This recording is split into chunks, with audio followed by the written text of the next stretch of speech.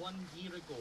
But we understand it was only in the past couple of weeks that the 136 women that were treated here at Guy's Hospital, uh, they were only told about this uh, in the past few weeks. So that delay, there are concerns really uh, about what that could mean for their future options, and also concerns from legal groups and lawyers who say they've been con- contacted by women uh, elsewhere in England and Wales as well, who are concerned that they may also have been affected by this. But the regulator saying that this is, you know, something that they are looking into. Uh, and the hospital trust here has apologised to those women. It's offering them now counselling and support, it could be too late for them if the thawing process it does mean that their eggs don't work uh, going forward uh, when they come back to this later in life. And of course, this is a treatment that happens for some people who want to delay the option of having biological children, but there's also those who are going through treatment for things like cancer, where that option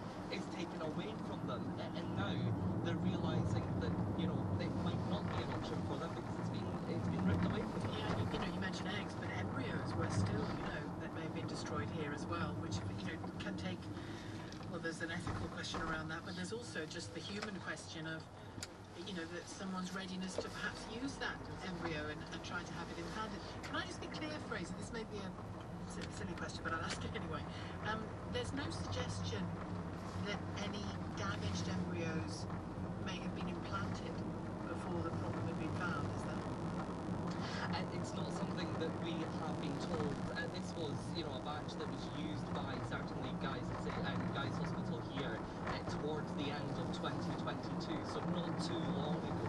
But still, that, that delay in even telling the women that when it comes to thawing their eggs, they might not be viable.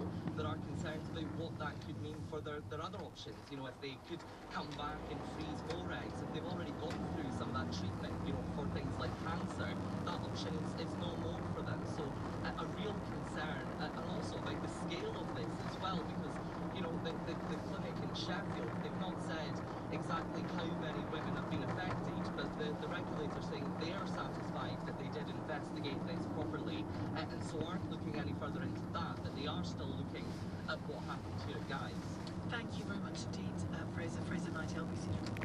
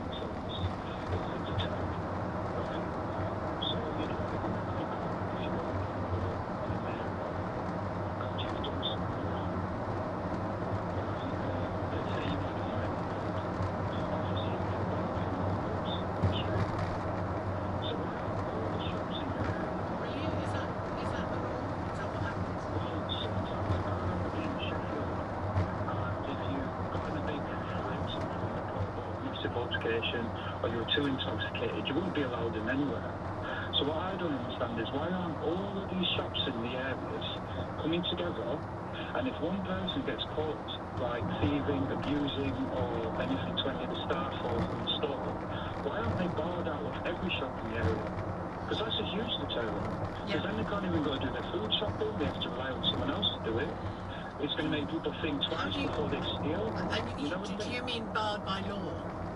Yeah, 100%. Which is like, what, all which is similar to what I was saying, a restraining order, because that's Yeah, that's being barred by law from somewhere.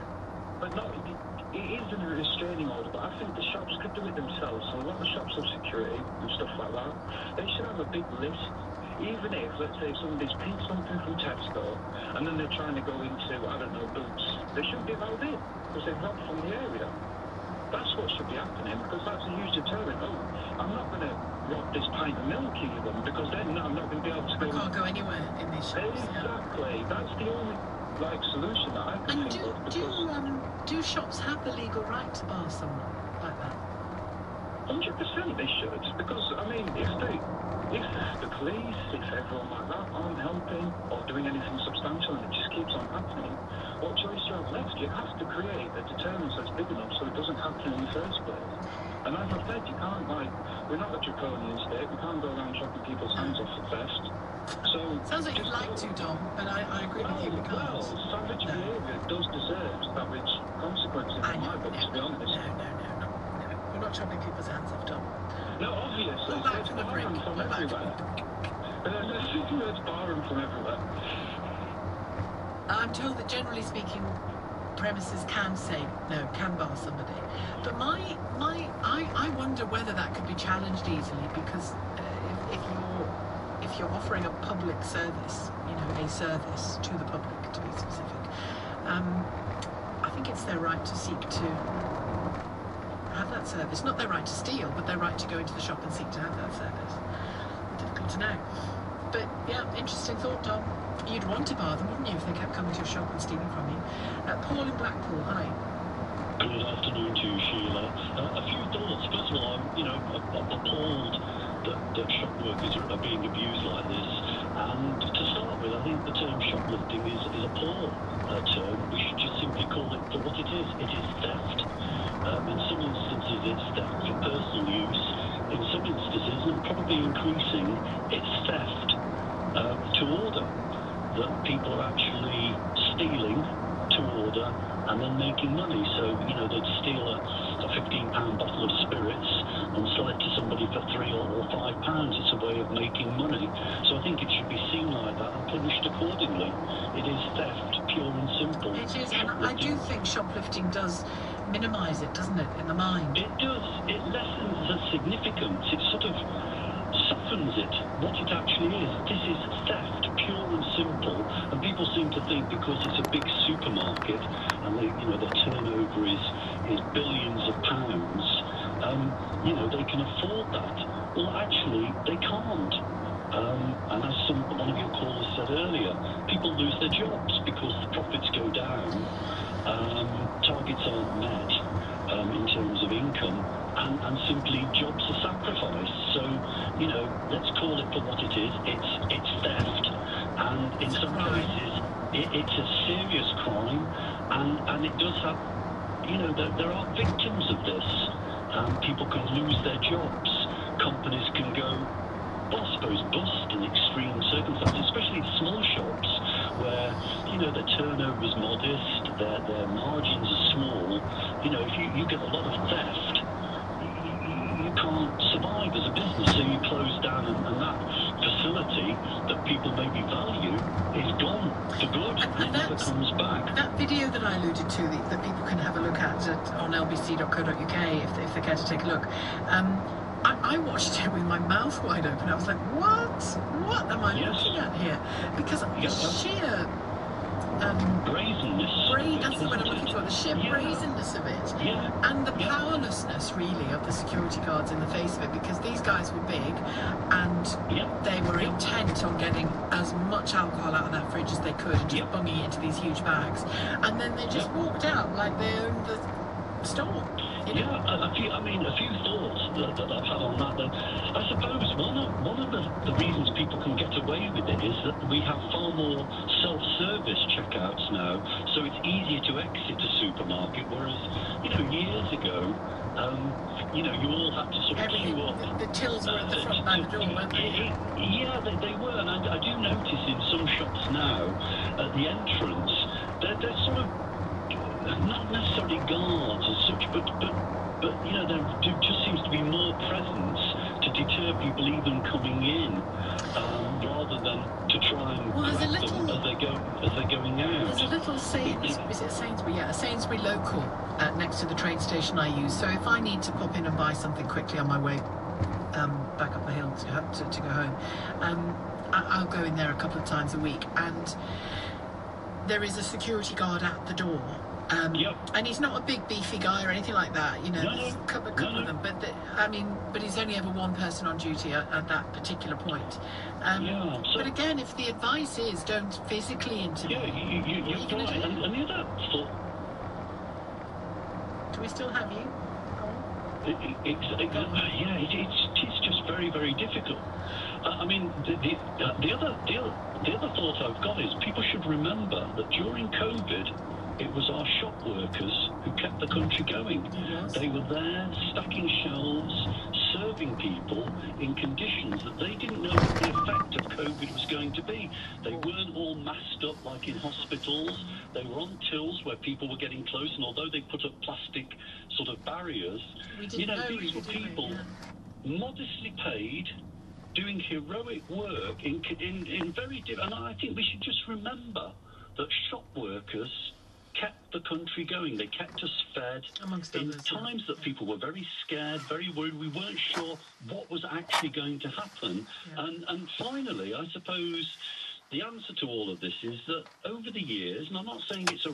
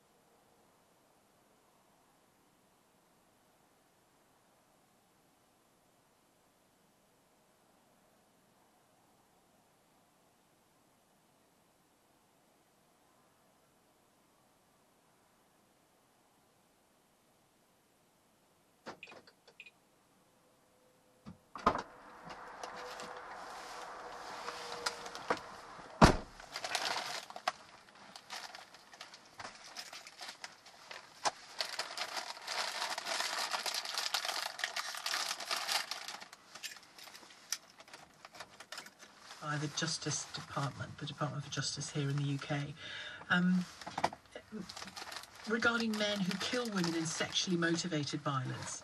Um, we know that the uh, so-called rough sex defence has been outlawed because it was used so often by men who had killed their partner or a sexual partner, um, and then argued that consensual, consensual rough sex uh, uh, had led accidentally to the death of the